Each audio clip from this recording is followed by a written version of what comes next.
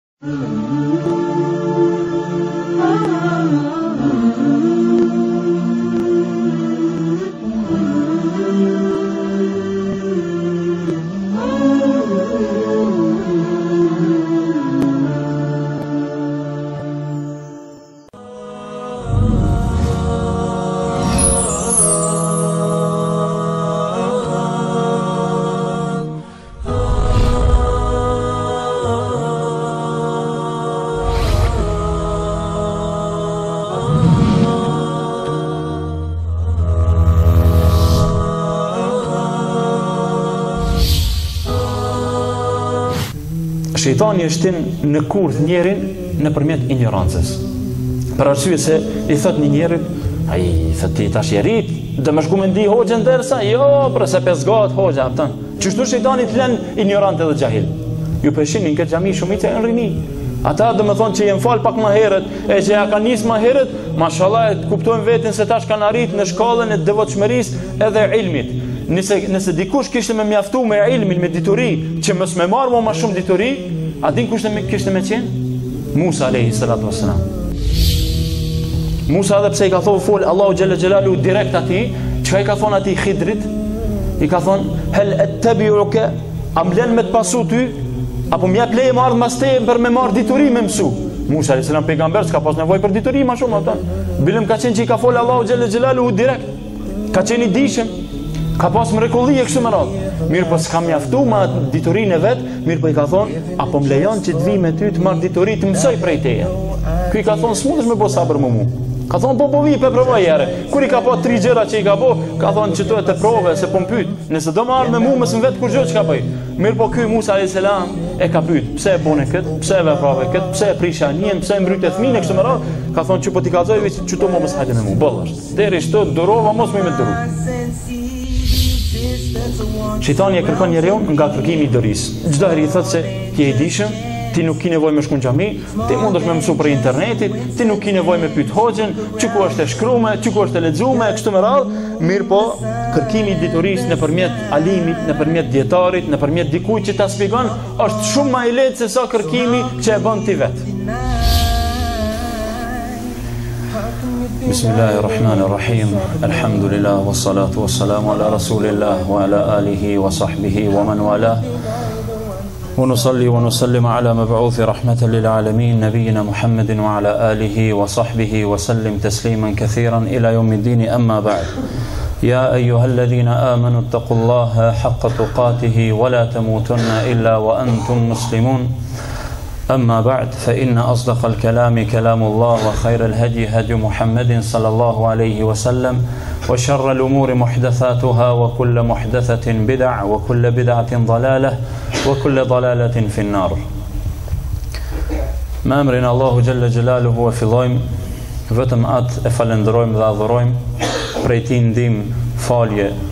Mëshirë kërkojmë, jemi të bindur se atë që e udhëzon Allahu xhalla xhelaluhu në rrugën e tij të drejtë nuk ka kush që e humb, ndërsa atë që e lë në humbje nuk ka kush që e udhëzon pos tij. Paqja mëshira e Allahut, salatet, selamet, ia dërgojmë më të dashurit tonë dhe tuajit Muhamedit alayhi salatu wassalam, më të mirit të njerëzimit. Kemi respekt të veçantë për familjen e tij, për shokët e tij, i dojmë dhe i çmojmë të gjithë ata të cilët e ndjekin dhe e pasojnë rrugën e tyre deri në ditën e gjykimit.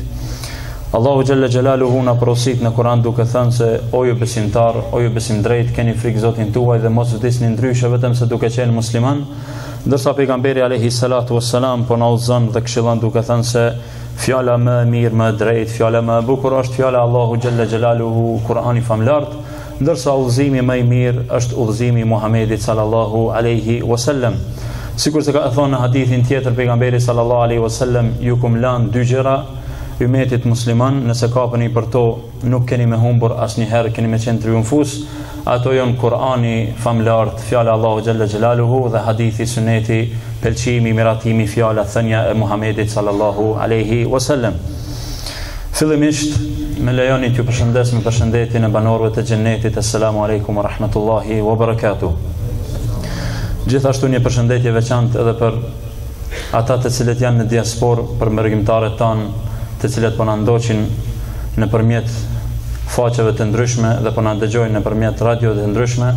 Allahu xhelle xhelaluhu dashtë që të bashkohemi në xhennetet e tij edhe pse s'jemi pa ndonjëherë në këtë dunja, Allahu xhalla xhelaluhu na bëftë që të shihemi dhe të takohemi në ahiretin e tij në xhennetin Adn, xhennetin Firdaus. Fillimisht vëllezër të nderuam, me lejen e Allahut xhalla xhelaluhu sonte do ta vazhdojmë atë temën e kaluar që kemi ligjëruar para dy javëve, sikur se e dini në këtë xhami ka ders javor të mërkurëve pas namazit të akshomit mbas llogaritjes verore tani që e kemi ndryshimin e kohës. Pra një javë jam unë, një javë është Hoxha Osamja, kështu që para dy jave, për ata që kanë qenë edhe kanë dëgju, ju kujtohet, ka qenë një ders rrugicat e shejtanit për mashtrimin e insanit.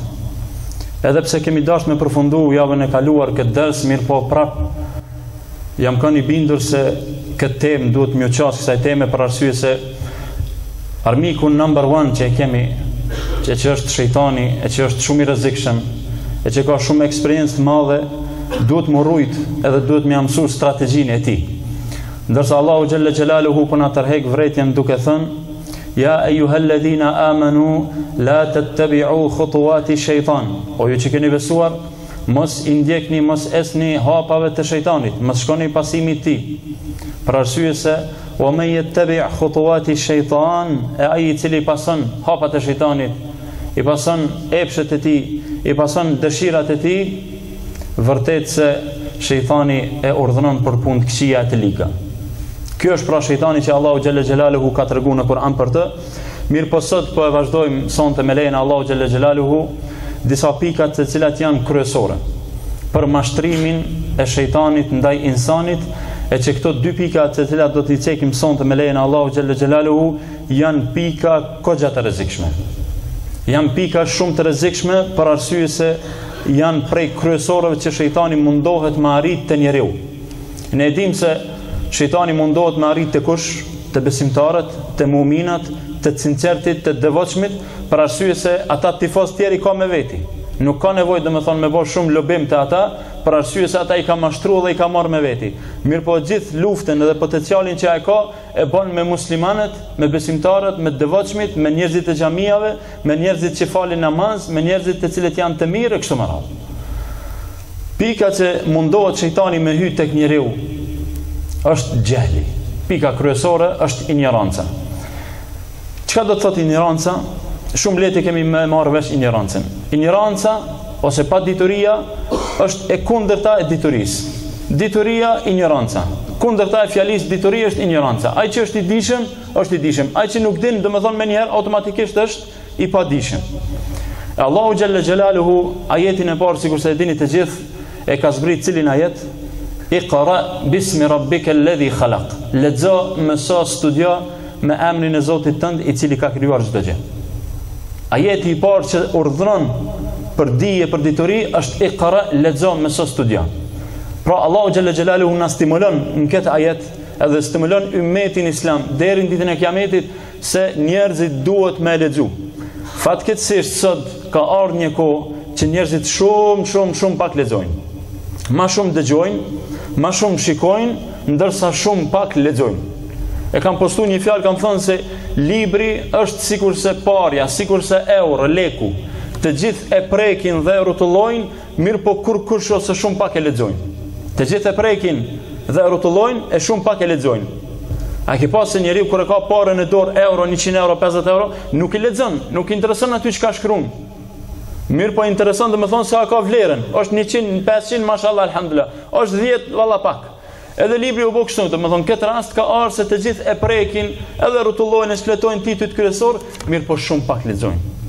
Pra ne kemi qenë ymeti që ma së shumti kemi lexu, ymeti ma i ngritur, ymeti ma i lartë, ymeti ma i mençur, sot po gabojmë se po kthehemi mbrap, edhe po hezitojmë me lexu, Edhe po mbështetemi vetëm në dëgjim të ligjëratave, vetëm në shikim në YouTube e kështu me radhë, ose domethonë ajo çka na vjen vesh e dëgjojmë. Çka na vjen për dorë e kqyr pak edhe e len. E Allahu xhel-le xhelaluhu po thot ikra, lexo, mëso, studio, urdhri i parë. Pastaj Allahu xhel-le xhelaluhu po thot yerfa illahu alladhina amanu minkum walladhina utul ilma darajat. Nëse don me pa veten më të ngritur, Ma lart, më ambicioz duhesh me qenë me lexu. Për arsye se Allahu po thotë vërtet Allahu i ngrit ata që dinë, ata që kanë besu n'mesin e juj, mirëpo i ngrit në derexhe të larta ata që dinë prej jush. Të gjithë jemi të ngritur te Allahu xhalla xhelalu që jemi duke besu edhe duke bë vepra të mira. E kam cek prapë po e ceki se çmimin Nobel, që është një çmim domethënë i paqes i mirë, ku ta di unë, që e japin domethënë organizata të ndryshme botnore njerëzve të cilët në thojza nuk e meritojnë me qen edhe me marr këtë çmim Nobel Allahu xhalla xhelalu hu ja ka jap secilit këtë çmim inna alladhina amanu wa amilu salihati ulaika hum khairul bariya ata të cilët besojnë edhe punojnë bojnë vepra të mira Këta janë njerëzit më të mirë. Këta janë njerëzit ma të mirë. Po çfarë çmimi Nobel merr çifti i Kofi Ananit për shembull sot kur e then premtimin e tij se me 10 prill ka vyt me ndal armëpushimin Siria, mirëpo e kanë shty edhe dy ditë. A këtij m'i jap çmim Nobel? Ose ose atij tjetrit, atij tjetrit, këta njerëz meritojnë çmim Nobel, kur njerëzit edhe vëllezërit tanë edhe motrat tona Po vdesin edhe po prehen.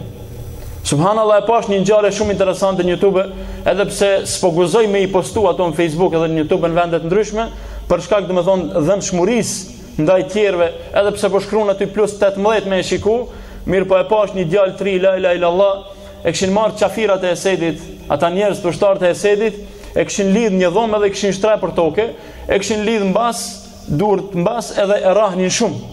Sikurse me ra me dru t'gomarit që e rahnin atë farë njeri.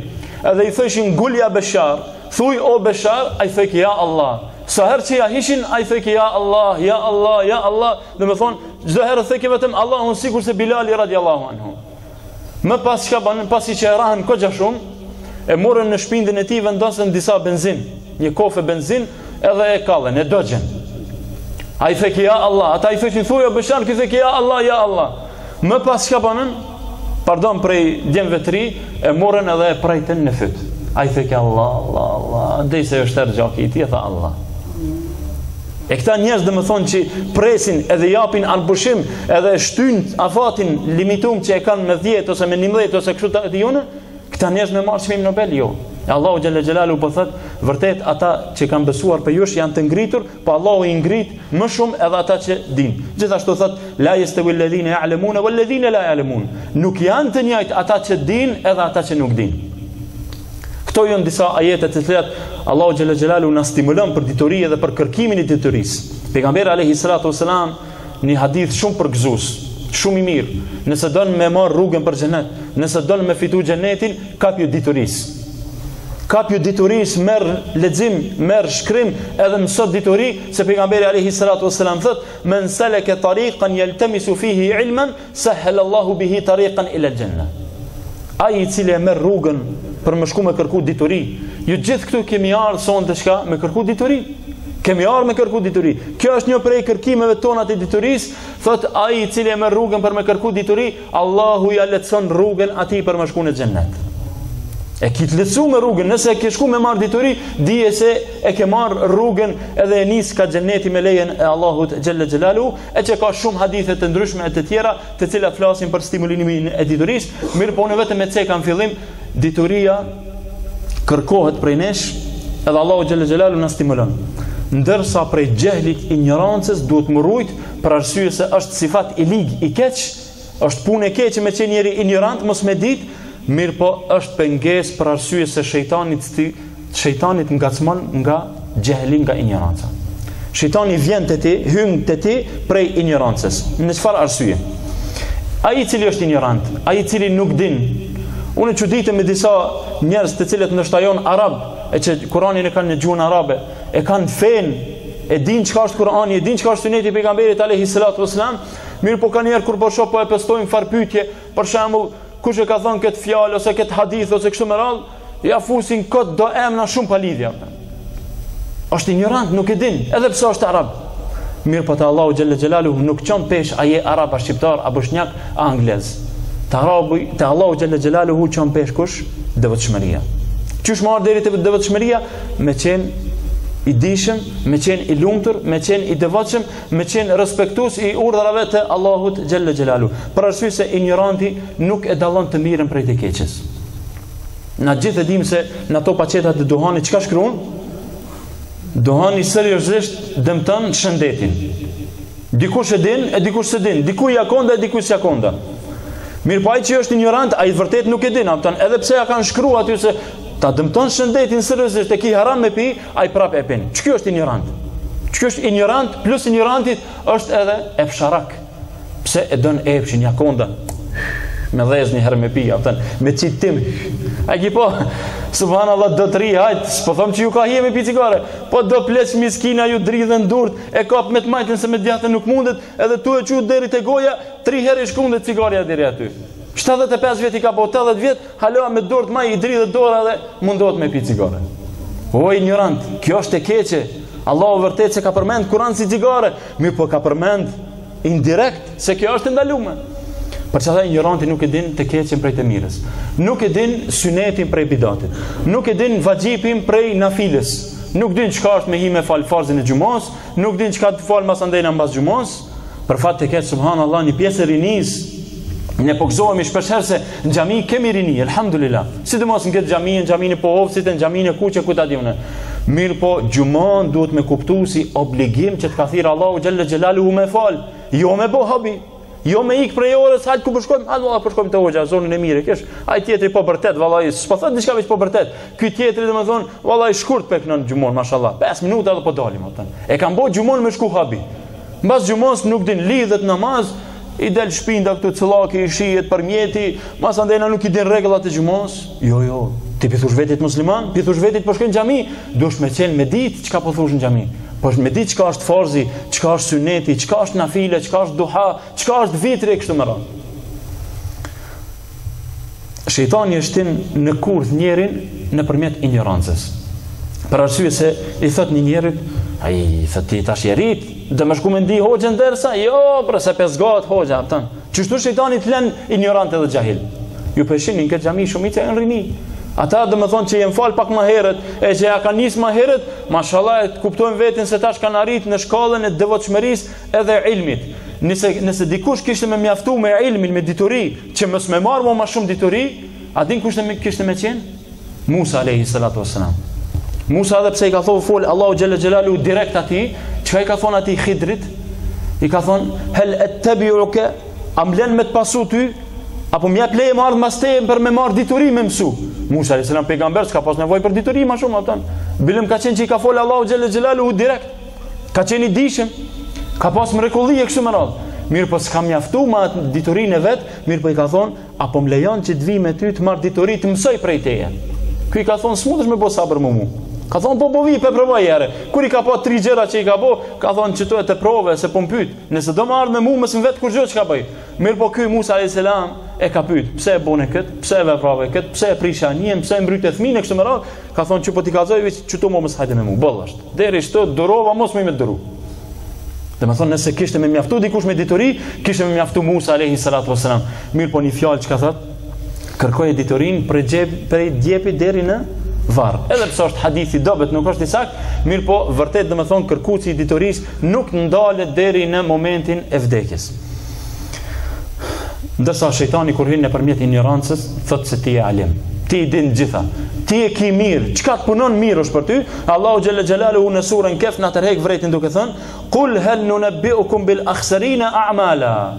Thuaj a t'ju kallzoj, pejgamberi alayhi salatu wasalam, thuaj a t' ju kallzoj Njerëzve se kush janë njerëzit ma të humbur. A t'ju kallzoj juve se kush janë ata ma të humburit? Që i kanë punë të humbura, kujton që bën mirë, mirëpo puna e tij është hi e pluhun. Puna e tij është dallash, puna e tij është keq. Alladhina dhalla sa'yuhum fil hayati dunya. Ata janë të cilët ka e kanë hup rrugën në oborr, që thotë populli te na. E kanë hup rrugën edhe kujtojnë se ato çka janë tu e bo, ajo është mirë. At bidat çka janë tu e bo, ajo është mirë. At haram at mëkat çka janë tu e bo, ajo është mirë për ta. Wa hum yahsabuna annahum yuhsinuna sun'a. E ata kujtojnë se janë tu bo mirë me qat punë. E nuk e dinë se ajo është gjynah, ajo është mëkat. Ajo është vepër penale. Mirëpo ata kujtojnë që po bojnë mirë me ta. Po kthejna pak në temë në politikë, në rrjedhën e përditshmërisë në Pejë para 3-4 ditëve, dikush na ka ra msysh në Pejë po m'doket. U bonë nja 3-4 ngjarje që sa u pat qetësu pak qyteti elhamdulillah dhe fshatnat, Rrafshi i Dukagjinit në përgjithësi mirë shkoi, bora na pshtoi, dikush i ra msysh pak qytetit të Pejës, Edhe ndodhen disa ngjarje. E dikush po kujton se o ka bën mirë me mbajt armë mbajtje. Me mbajt alltinë pa leje, kujton që o ka bën mirë. Kujton që o ka bën mirë me marr me gjujt tjetrin. Kujton që o ka bën mirë me çu dorë ndaj tjetrit. Po kujton që o ka bën mirë me prish rendin edhe qetësinë. Shejtani prej qësaj I shti njerëzit prej injorancës. Gjith jemi dëshmitarë se çka ka ndodhur para dy ditëve midis korzës në Pejë.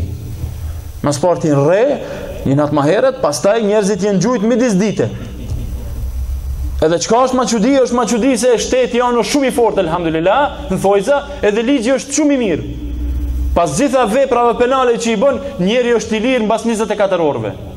Vallahi më ka shku mendja edhe unë si hoxhë me u çu me bë diçka keq, 24 orë nuk rri ma shumë n'burg apo tan.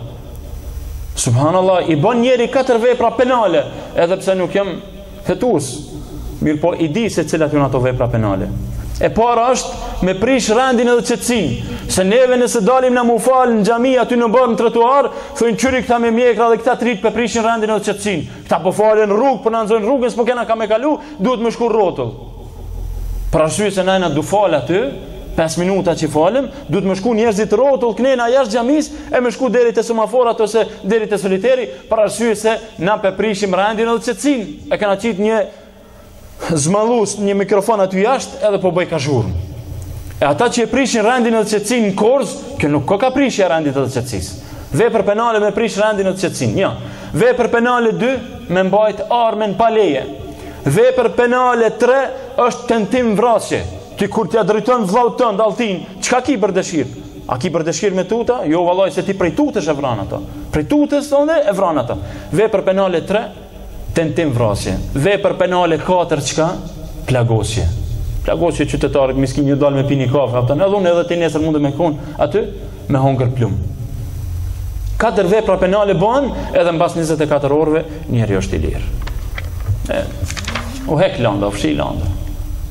Shejtani të hin prej qësaj, prej injorancës, prej xhelozisë, vjen deri te ti. Ela inne hizbe shejtani humul khasirun, e thotë Allahu Xhel-le Xhelaluhu, se vërtet Partia e shejtanit, ata shokët e shejtanit, tifozët e shejtanit, ata janë të humbur. Ata e kanë humbur rrugën n'këtë dynja, mirëpo kujtojnë që janë duke bërë mirë. Shejtani e stopon nga kërkimi i diturisë. Shejtani e kërkon njeriun nga kërkimi i diturisë. Çdo herë i thotë se ti je i dijshëm, ti nuk ke nevojë me shku n'xhami, ti mundesh me mësu prej internetit, ti nuk ke nevojë me pyet hoxhën, qe ku është e shkruar, qe ku është e lexuar, kështu me radhë, mirëpo kërkimi i diturisë nëpërmjet alimit, nëpërmjet dijetarit, nëpërmjet dikujt që ta shpjegon, është shumë më i lehtë se sa kërkimi që e bën ti vet. Një shembull sa për sqarim. Nëse vjen një njeri para xhamisë, edhe na drejtohet neve se ku është spitali regjional në Pejë, ne çka mundem i thon? Mundem i thon drejt. Vetëm vazhdo drejt edhe e ki spitalin regjional. Ai para se me shku atje ka me ndal edhe një tri veta ka me i vet. Për arsye se ka me u siguru Se ti ki thon drejt, po ndoshta ti s'je kon i sinqertë. Kur të vjen te shkolla e artit e vet edhe dikon se ishte do kthesa spital çka kur koka spitali e hup kohën. Mirëpo nëse të vet një njeri se ku është spitali regjional në Pejë, ti i thush hajde, hyp në kerr me ta, edhe rrët, e çon deri te spitali, ki bo shumë ma mirë. Qështu është kërkimi i diturisë me një njeri? Për arsye se ti e mëson bashkë me njerin aty duke qenë, pa marrë parasysh, a është hoxhë, a kërkues i diturisë, a student, a alim, a dijetar, a çkado që është, Mirëpo nëse mundohesh ti me kërku diturinë vetëm pa kërkan, dije se vërtet s'ki me fitu diturinë që ti don, edhe shpesh herë ki me i marrë meselet jangllësh thotë populli. Ki me i kuptu ndryshe e ai i cili është profesionist, ai i cili është ekspert për lëminë e vet, ai din me ta shpjegu edhe landën që e ka mbi supet e tij. Imam Aliu radiallahu anhu ka thënë, bëhu dijetar, nëse s'mundesh me qenë dijetar, bëhu kërkus i dituris, nëse nuk mundesh këtë, bëhu dëgjus, nëse nuk mundesh me bë këtë, bëhu i dashur i dituris, e mos u boj i pesti që me i hup krejt. Edhe njëherë po e ceki, bëhu dijetar, nëse nuk mundesh kërkus i dituris, nëse jo dëgjus, nëse jo i dashur i dituris 4, e mos u boj i pesti që me i hup krejt. Çka mu bo i pesti? Çka është e pesta? Xhahil, injorant.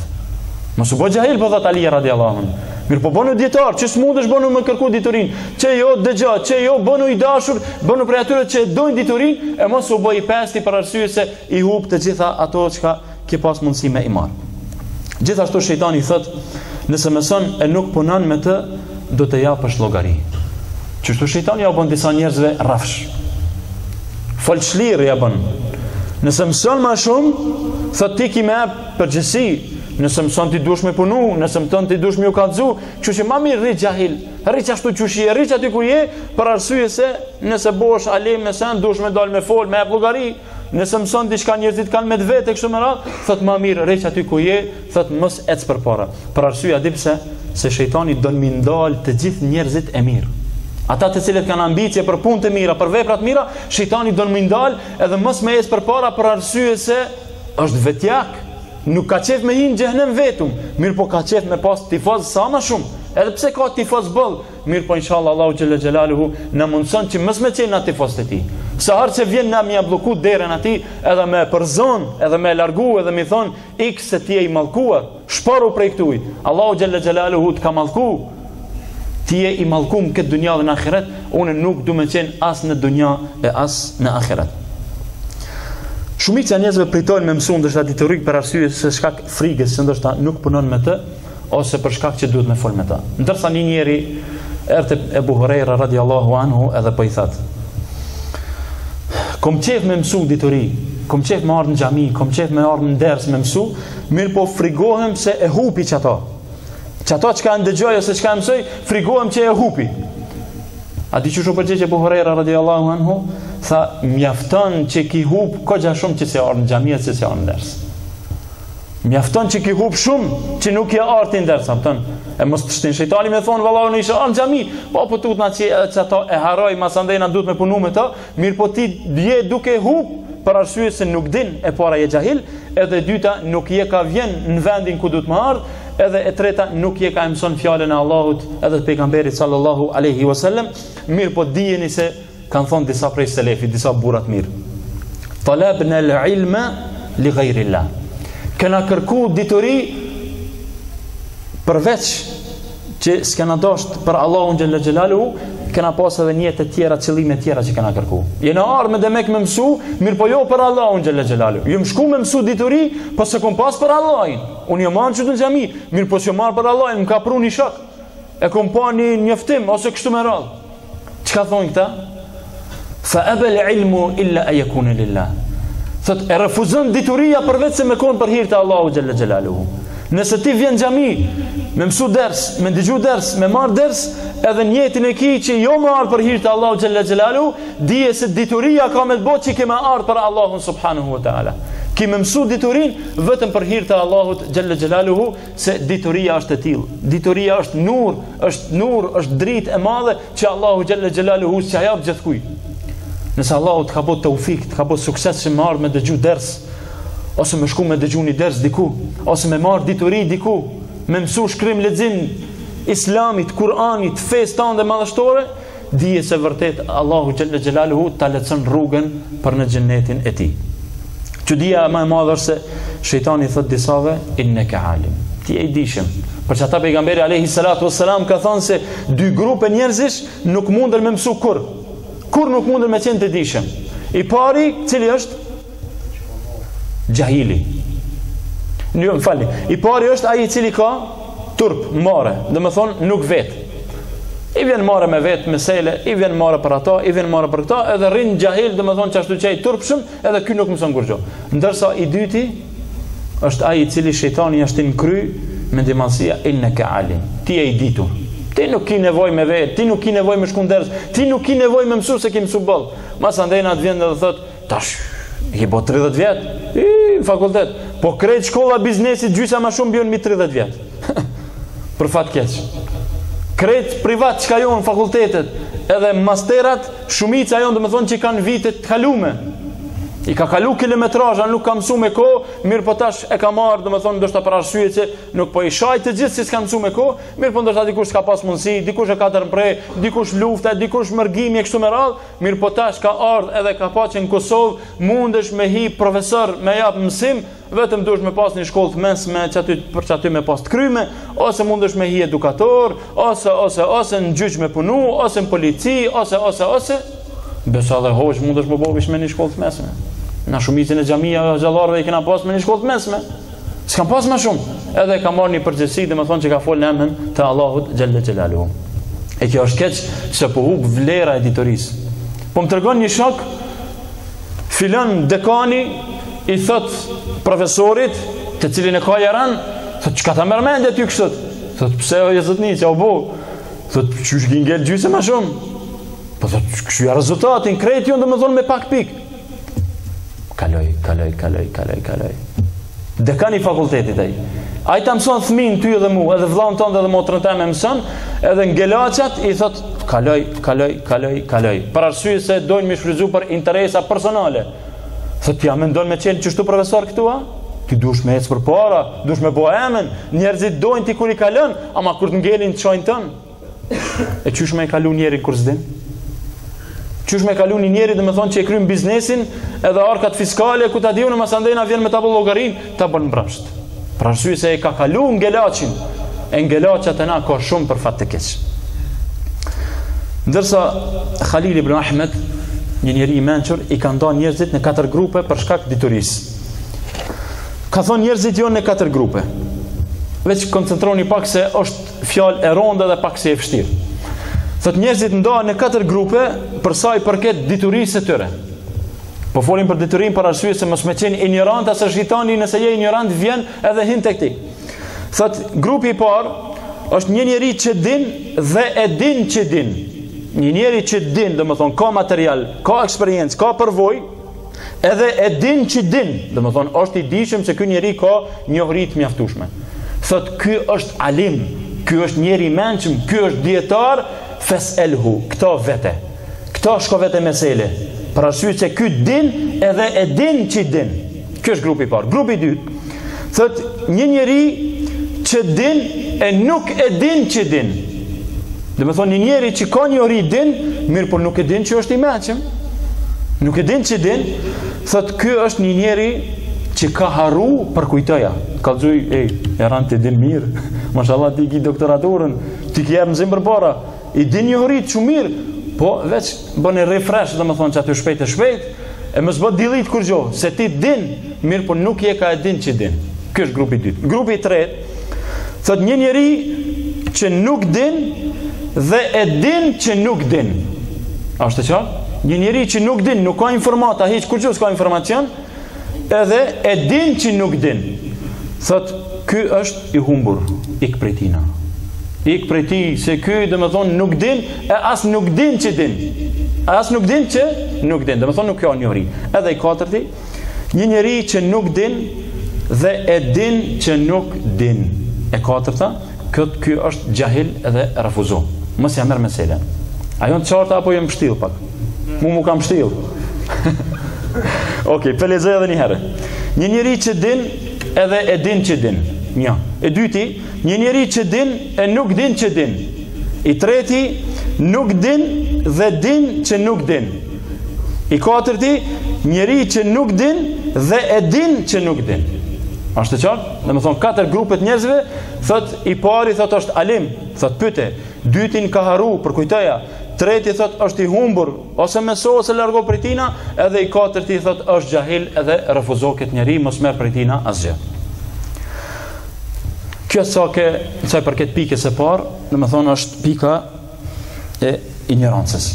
Pika e dytë, kjo është pak më shkurt se për shkak ndoshta pak jeni molis'. Pika e dytë është hidhrimi. Shejtani vjen domethënë nga dera e hidhrimit. Sikurse xheneti që i ka tetë dyer, Dera namazit, dera agjerimit, dera xhihadit, dera respektimit, dera, dera, edhe shejtani i ka dyert e veta. Nuk e di sa dyer i ka, ka shumë, ka gja shumë ka, pëtën se Allah alem edhe sa është fare i ka të mlaja, e as nuk i ka të blindume, mirëpo domethonë, një prej dyerve të shejtanit që vjen te insani edhe mashtron, është hidhrimi, është nervoza, është teprimi çka ai mendon domethonë donjëherë, që bëhet shpesh herë nervoz, pejgamberi alayhi salatu wasallam çka ka thonë? El ajalatu min ash-shaytan. Ngutësia, shpejtësia është prej shejtanit. Ndërsa sa i përket hidhrimit, pak fjalë. Shenjat e hidhrimit janë të ndryshme. Prej tyre ka haptas. Shejtani mundohet domethonë me prish njerin edhe me arrit me shkatru insanin nëpërmjet hidhrimit të tij. Edhe shpeshherë domethonë e kini po, edhe vetë jemi bo nervoz, edhe jemi hidhru ndoshta shpesh herë, edhe shumë herë. Shenjat e hidhërimit të haptas janë ndryshimi i ngjyrës. Një njeri kur bëhet nervoz, për Zotin a nuk e ndryshon fytyrën e vet a? A nuk ndryshon ngjyra e vet a? Po, dikush bëhet i skuqur, dikush mdhezet, dikush bëhet i zi, dikush hup i hup gjaki kështu me radhë. Domethonë ndryshon ngjyra e pamjes së tij, e fizionomisë për shkak të hidhërimit që bëhet i tepërt.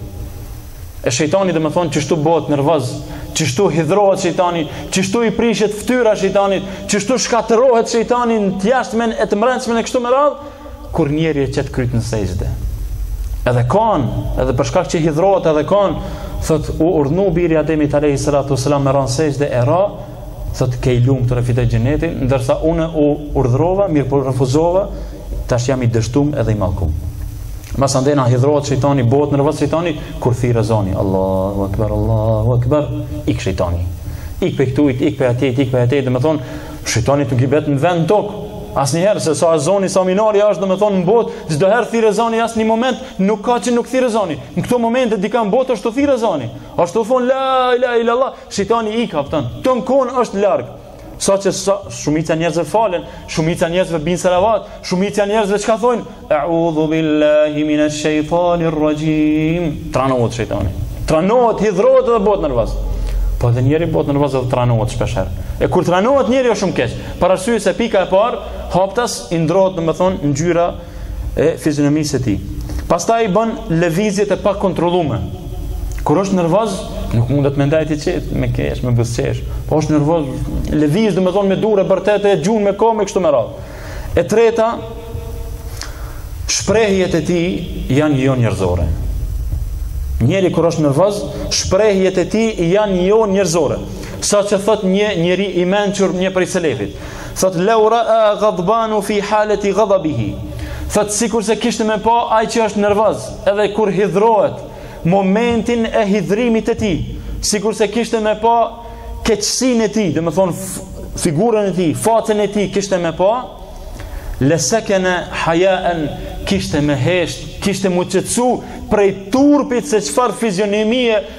Çfarë fjalë, çfarë vepra, çfarë ndryshimi ka në trupin e tij. Paramendoni kur të boni nervoz, veç mush me, me praktiku këtë fjalë ndonjëherë. Kur je në kulminacion nervoz, edhe i hidhrum, sikurse ka thonë ky njeri, mundohu me kthy veten ti me pa veten, jo me dal n'pasqyrë, se n'pasqyrë e sheh, po mundesh me thy pasqyrën, se a merr inati. Mirëpo hiç pa pasqyrën, veç mundohu me pa veten Se çfarë fizionomie të keqe ki, çfarë shprehje arrogante ki, çfarë lëvizje të pakontrollume ki, të vjen marre prej vetvetes, thotë edhe ky njeri kishte me qetësu veten, mirëpo për fat të keq shumica e njerëzve nuk munden me kontrollu veten n'këto momente. Nuk munden me ndal me stopu veten këto momente, për arsye se është moment i vështirë, mirëpo Allahu xhelle xhelaluhu i ka lavdu ata të cilët e ndalin edhe stopojnë e hezitojnë veten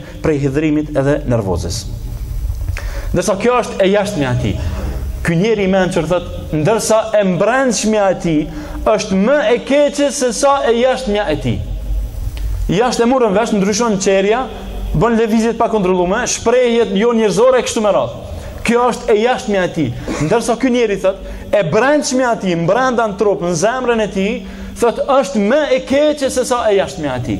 Për arsye se mbrenda, a ki pa njeri kur është nervoz, dridhet. Zemra i rrah shumë shpejt e kështu me radhë, ka mësy me i shu shpirti. Është xhelozia në pyetje, është smira në pyetje, është nervoza e tepërt në pyetje e kështu me radhë. E gjithë këto kush t'i bën? T'i bën shejtani. Shejtani me do njerëz që i ka okolla, domethënë, që i ndihmojnë shpesh herë. Për qat hidhrimi në gjuhë është sharje, fyrje, kufër, mosbesim, munafikllok, çdo send. A ki pa një njeri kur është nervoz, saqë edhe ulemaja kanë thonë se nëse burri është nervoz, është i hidhrum, edhe e shkurorëzon grun e vet, i jep divorc, e bën talak me dhe, ulemaja kanë thonë këtu është pikëpytje, për arsye se është i hidhrum, është nervoz, nuk e ka pas nijet edhe qëllimin, edhe pse shumica e dijetarëve ia marrin përnime, këtë mesele, se këtu s'ka hajgare. Pejgamberi alayhi salatu wasalam ka thon, "Thalathun jidduhunna jidd wa hazluhunna jidd." Tri gjëra e vërteta është e vërtetë, ndërsa hajgarja është e vërtetë. E vërteta është e vërtetë, ndërsa hajgarja nuk është hajgare. Jo, vëllai, kum bo hajgare, s'e kum pas nijet me ta lshu, me fol, ja. Hajgarja thotë është e vërtetë. Cila? El nikah, martesa, wal talaq, shkurorëzimi, divorci, edhe kush el itaq, edhe robrimi kur ta liron ti një rob.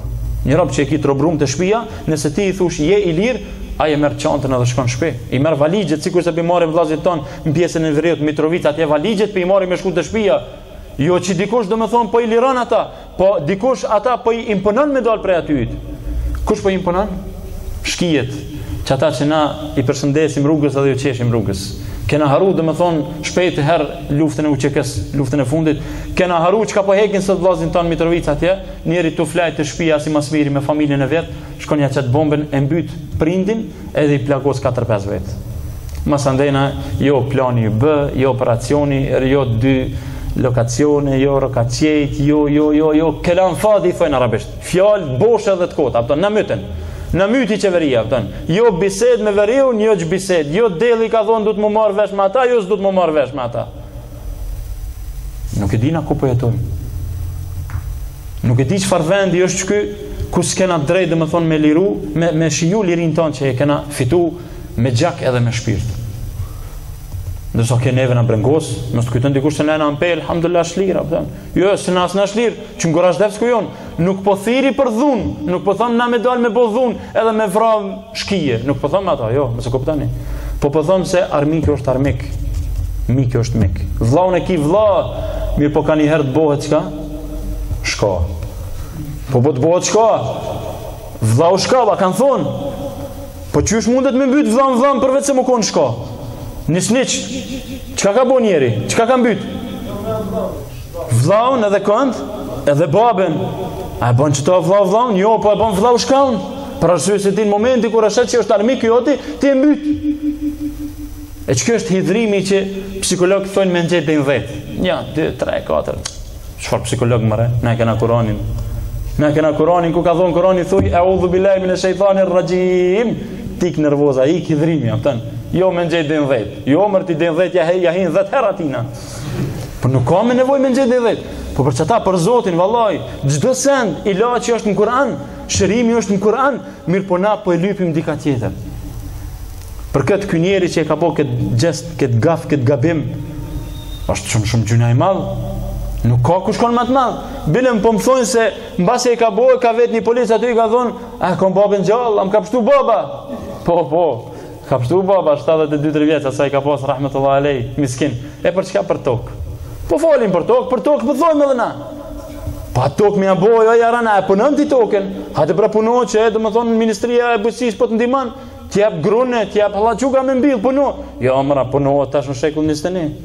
Po vrahet baba dhe vëllau në shekullin 21 për një pllom tokë. A ki me marrë me vetja toka? E për qata vëllau kur bëhet shka, qatëherë ti çon dorë ndaj tina.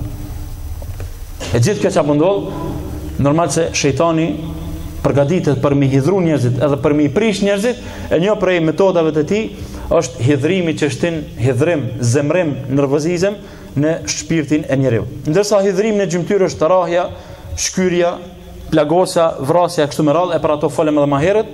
Hidhrimi në zemër është xhelozia, smira, shpalosja e të metave kështu me radhë. Një njeri kur bohet nervoz, më sporti me zemër, ai xhelozon. Ka smirë në zemrën e tij, edhe çka bën, në fund i qet krejt ato çka ka në brendsinë e vet. Krejt sendet t'i zbulon. Pra si që u bën nervoz, duhet me fol diçka, i kallzon ato që i din, edhe ato që nuk i din, plus edhe shpif diçka domethën për ty, Edhe t'i zbulon të meta tuja edhe bohet kijameti. Ndërsa një njeri erdh te Pejgamberi alejhi salatu selam dhe me këtë hadith po e përfundoj, thot, dulleni ala amelin judkhiluni el xhenne. Kallzomë një punë, ja Resul Allah, tregoma një punë që më shtin mu n'xhennet. Kallzomë një punë që unë e baj at punë edhe unë hi n'xhennet, jam rahat. Pejgamberi alejhi salatu selam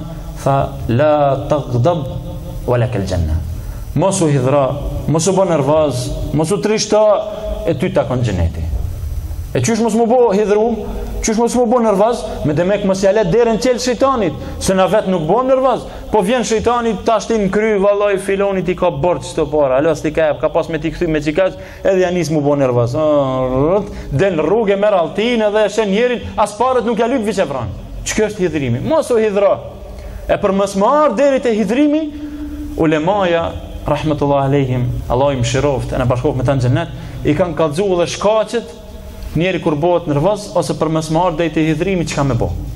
Thot e para me thon e'udhu billahi minash shaitanir rajim. Jo me njeh deri n'10. Heki këto me njeh deri n'10. Kjo kjo kjo fora është njeh deri n'10, a po thon për çfarë 10 për pash Allahin a.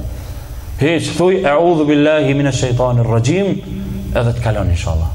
Edhe ki sevap, edhe kërkon mbrojtje prej Allahu xhel-le xhelaluhu nga shejtani i mallkuar, largohet shejtani. Bile thot një njeri i mençur, Thot ai që është nervoz mos i thuj bjer salavat Allahumma salli ala Muhammed. Këtu te na s'përdoret po te arabt është një një një sens shumë interesant. Shpeshherë kur bëhen nervoz dhe kur palaten mes veti i thonë salli ala nabi, bjer salavat, ço salavat mbi pejgamberin alejhi selam. Po çfarë salavati aty ai salavat ai njëri do me pëlcit. Po ti duhet me i thon thuj a'udhu billahi minash shaitanir rajim me kap ej kadal Je ka bon diçka pa lidhje, shumë gjeste të këqija. Ndalo dhe thuj audhu billahi minash shejtanir rajim. Kjo e para që të ndihmon. Edhe vallahi unë po foli për veti sinqerisht, se dhe na hoxhallart bohem nervoz edhe hidhrohem. Ta zen dikush rrugën e diçka bosh nervoz. Ose të kalon dikush me kerr bosh nervoz. Thuj audhu billahi minash shejtanir rajim, ki me pa veten që veç ka mu zbut. Ka mu ul ajo doza e tensionit lart, temperatura ka mu ul menjëherë, nuk po them 100%. Po 70% përafërsisht si të thush eudhu billahi minesh shejtanir rajim. E para, e dyta, thot me përkujtu shpërblimin ata të cilët e mshefin atë zemrimin edhe hidhrimin e vet. Pejgamberi alayhi salatu wassalam çka ka thon? Lejse shedidu bis-sur'a. Nuk është i fort ai që është i shpejt. Nuk është i fort ai që është i shpejt. Mirpo i fort kush është? Ai i cili e ndal edhe e stopon nefsin e tij kur është i hidhur. Që ky është i fortë. Që ti mund dëshmi thu ti, ti je bodybuilding, ti je builder, ti je boxer, ti je karatist, apo jo? Se nuk është i fortë, me ja fut box përiherë, tam, e na dim se ajo shpejtësi është, apo jo? Po, forci nuk është, ajo është shpejtësi çka ti e përdor, domethonë, në rrahje. Mirëpo i fort nuk je, je i lig, se i ki sill një njerit që pejgamberi alejhi salatu selam ka thonë, mos ja hi ftyrës, s'bon me rreh njerin ftyrës, a thënë. E pejgamberi selam po thot, nuk është i fort, ai i cili është i shpejt.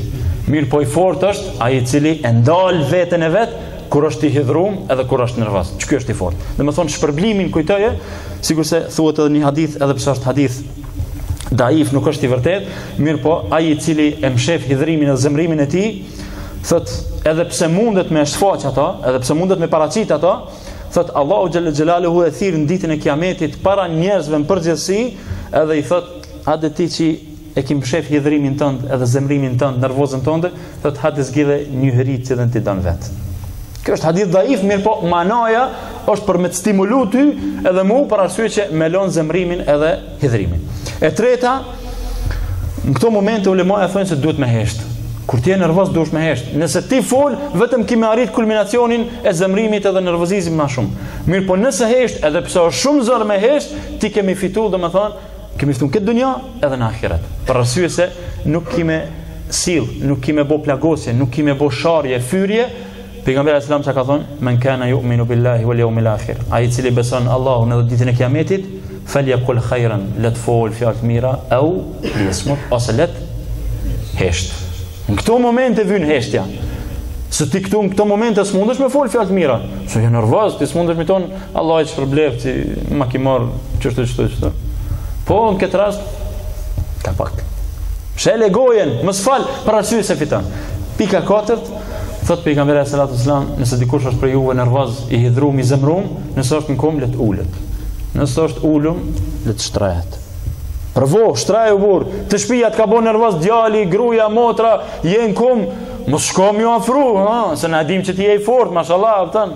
Mundesh me bo atë punë.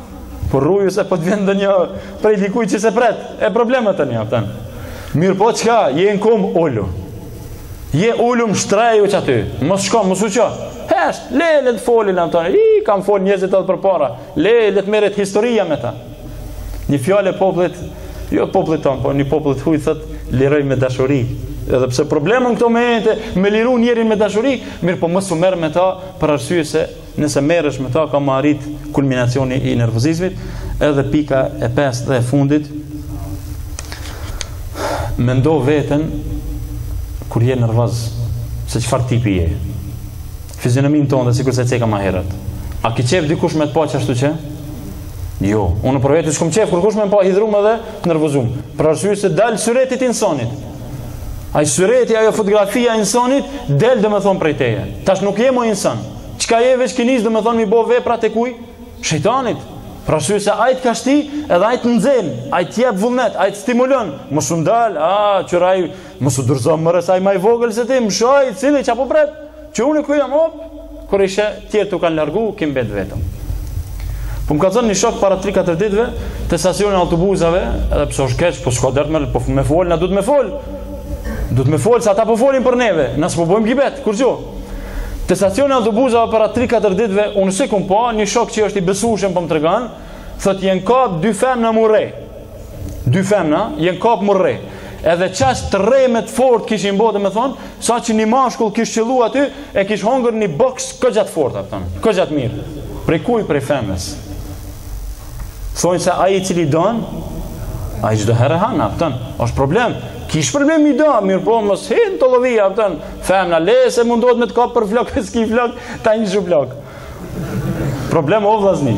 Problem se hidhrimi, domethënë, të bjen në këtë gjendje, sa që, domethënë, e ul veten, e mos na boftë Allahu Xhelle Xhelaluhu, që na mu zemru, mu hidhru, të bohem prej atyne të cilët ia mshelim derën shejtanit, ia mshelim derën në të gjitha aspektet, sidomos në këto dy pikat e fundit, në injorancë edhe në hidhrim.